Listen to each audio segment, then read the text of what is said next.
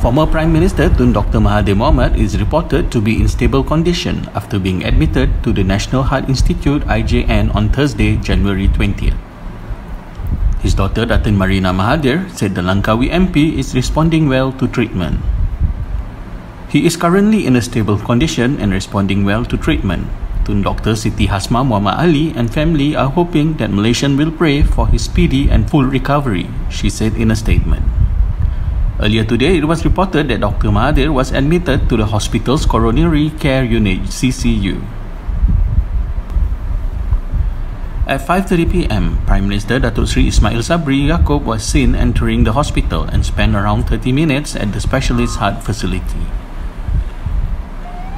It was also reported that IJN will be issuing a statement on the Parti Pejuang Tanah Air founder and chairman today.